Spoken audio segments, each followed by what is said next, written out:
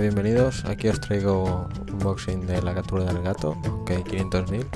Pero bueno, he tenido problemas sobre todo por la de componentes, Xbox 360 de componentes, las primeras. Eh, por un fallo que ahora os explicaré más adelante, no sabía cómo, cómo funcionaría. Y he decidido coger esta ya previamente para prepararla para Xbox One. Bien.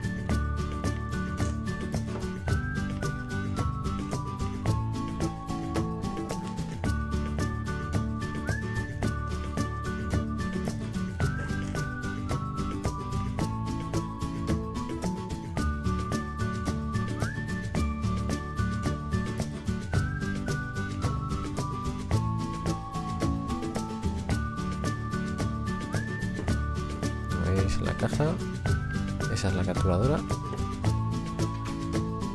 Tamaño de un teléfono de los de ahora. Más grueso. Puede ser un iPhone o un Samsung Galaxy. Los cables. Viene un HDMI. Uno por adaptador de componentes uno para la clavija de, Play 3 y demás. Y manual no existe, es la tarjetita esta que te pone la dirección donde descargar el programa. Tanto para PC como para Mac. El primer paso a la hora de conectarla es como nuestra Xbox 360. Es por componentes, es decir, de las primeras. Eh, debemos colocar un extremo del cable HDMI que viene con el gato detrás de nuestro televisor, previamente haber desconectado la instalación por componentes.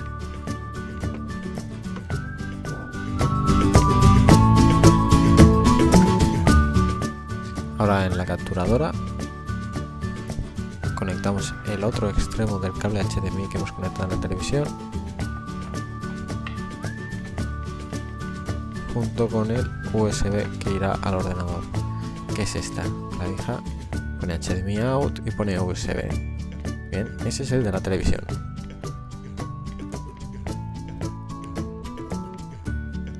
Por el otro lado tenemos HDMI que sería si la consola tiene salida HDMI o en este caso la 360 de componentes tenemos que poner el cable que viene especial para ello dejando únicamente libre el cable amarillo y los otros cinco conectados.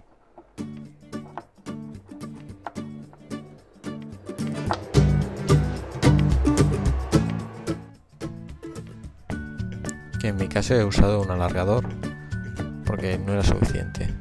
Entonces el otro extremo, un USB 2.0, lo conectamos tal cual a nuestra ranura USB del ordenador. Y esa es la instalación. Sencilla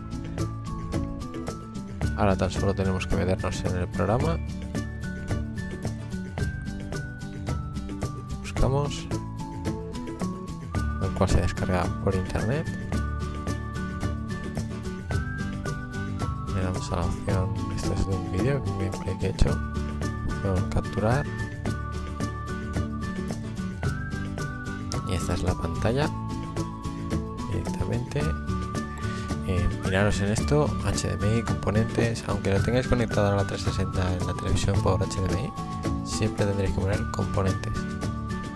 HD 720, calidad la mejor, imágenes, resolución, el audio, perfiles, avanzado. No tocaremos nada y lo dejamos tal cual. Ahora en teoría falta conectar la 360 y aparecerá aquí en la pantalla.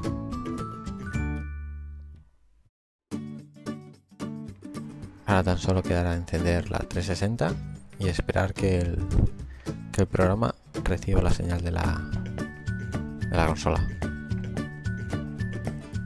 Recordad siempre poner el canal HDMI, ya no es el componentes,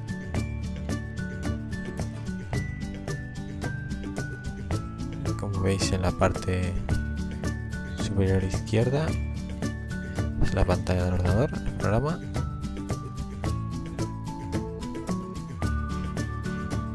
Y cómo carga la señal ya de, de Xbox. Duplicada, pero siempre con un retardo de unos 2 o 3 segundos en referencia a la pantalla de televisor. Y una vez esto, ya podéis empezar a grabar todas las partidas y demás en vuestro ordenador. Si os ha gustado, suscribiros y darle al like. Adiós.